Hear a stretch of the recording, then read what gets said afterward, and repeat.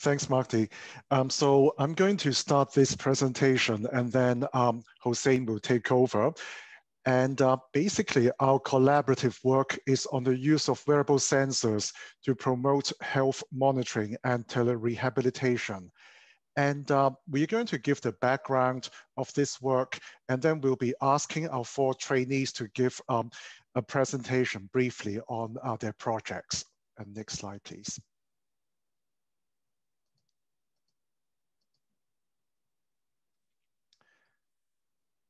Okay, so um, the use of wearable sensors is really not a new topic, right? And um, I think that it's been gaining more recognition because um, we uh, recognize that the monitoring of our users uh, for their activities and health status at home or in the community um, is really uh, important. And uh, whereas the episodic evaluation and uh, monitoring in the clinic setting or in the of healthcare facility setting is really not going to be uh, representative of the patients or the users' uh, daily functions and activities. Now, um, all of this is actually uh, being highlighted even further with a COVID uh, situation, because now that we are um, advising the patients and uh, people who, who usually come to the healthcare facilities to try to stay home as much as possible because of the infection risks and also because of the uh, lack of capacity, right, in the healthcare facilities. So it really highlights the, the uh, importance for us to look at how we can do remote health monitoring in the home and community setting. And uh, we know that uh, we should try to reduce hospital visits and promote uh, remote health, remote health care, and that um, the use of wearable sensors and also um, uh, devices will be gaining even more importance. And in fact, um, the uh, revenue for this market will be very high as well. Next slide, next slide, please. And um, so we have to recognize that not all of the biomedical, not all of the wearable devices are biomedical devices. And so our collaborative work between myself and Hossein is to look at uh, wearable devices and also to make sure that um, they are appropriate biomedical uh, devices. And so you see um, in the diagram on the right-hand side, we have to look at the real world need, um, the modeling, the algorithm, and also data processing, in-lab validation and in-field validation. So my um, uh, input to this is um, mostly in the real world need and the in-field validation, whereas Hossein and his lab uh, focus on the rest of it. And at this point, I'd like to turn this over to Hossein. Thank you, Chester. Thank you.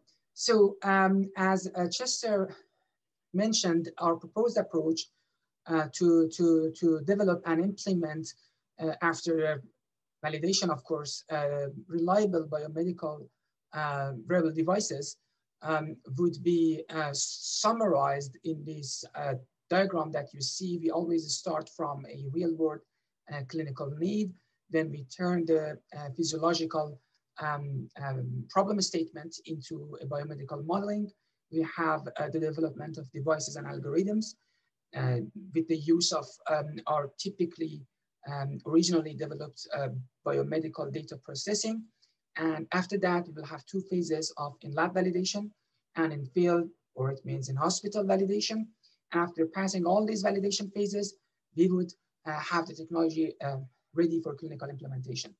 Uh, in the next slides, I'm going to first talk about a few um, um, examples uh, that, that have been um, recently completed um, with, with uh, typically the case of a spinal cord injury or other neurological conditions. And later on, um, our other team members will talk about our ongoing uh, projects uh, that uh, Chester and myself are working on. Uh, this is the first project that I want to talk about. Uh, this project has recently been completed. Um, the, the, the, the issues that we wanted to have um, standing balance assessment uh, for individuals after a spinal cord injury with the eventual goal of uh, classification of, um, of individuals affected, uh, affected with a spinal cord injury that are frequent fallers and those who have lower risk of falling. So we completed data collection in Toronto Rehab, Lyndhurst Center, and University of Montreal. And then um, we included a number of um, participants with incomplete spinal cord injury and controls. We simply asked them to, um, to, to, to stand eyes closed and eyes open on hard surface or foam surface.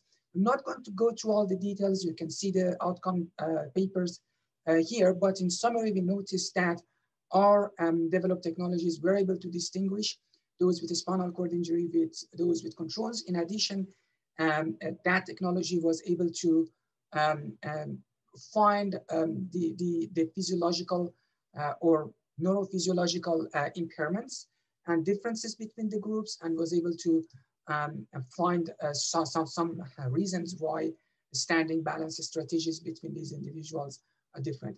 The key important was that we did not uh, require extra time. Uh, the, all, all, the assessments were completed during collection of uh, Berg balance scale uh, scores uh, that are anyway used in hospitals.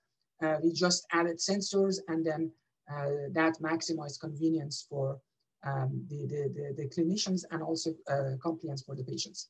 Similarly, we had gait analysis in 20 meter trials and also in six minute trials with different conditions, again, with reduced vision and reduced um, um, somatosensory sensation uh, using uh, foam shoes. And also we again uh, understood that uh, we would be able to uh, A, reliably measure uh, gait parameters and their interstride variability, and B, the, the interstride variability of gait parameters was able to characterize neurological impairments after a spinal cord injury. In another study, this time completed in, um, in, in Glenrose Rehab Hospital, uh, we, uh, we tried to understand how patients with unilateral um, brachial uh, plexus injury uh, use the trunk um, to, to, to, to, to have their, um, the, the, the normal um, function of their shoulder. And in this way, they mask um, unilateral asymmetry uh, of, I'm, I'm sorry, bilateral asymmetry of their shoulder function. So we were able to show that um, if, if we use uh, our uh, developed sensor technology during uh, typical clinical assessments that has, has been done already in the clinic, we just add the sensors with, um, with, with, really minor um, extra time uh, to, the, to the process, um, we would be able to identify uh, the, the, the uh, trick motions of the trunk um, with uh, the, the sensor technology and, and machine learning uh, algorithms that we developed. Now, all of what I talked about was for the purpose of remote health monitoring. Now, if we want to have telerehabilitation, uh, the first step to that is to, to assess the function and based on that assessed function, we want to send real-time feedback to the individual. And that should be done using, um, for example, mobile phone uh, applications or any other kind of feedback display system. Uh, we are working on uh, such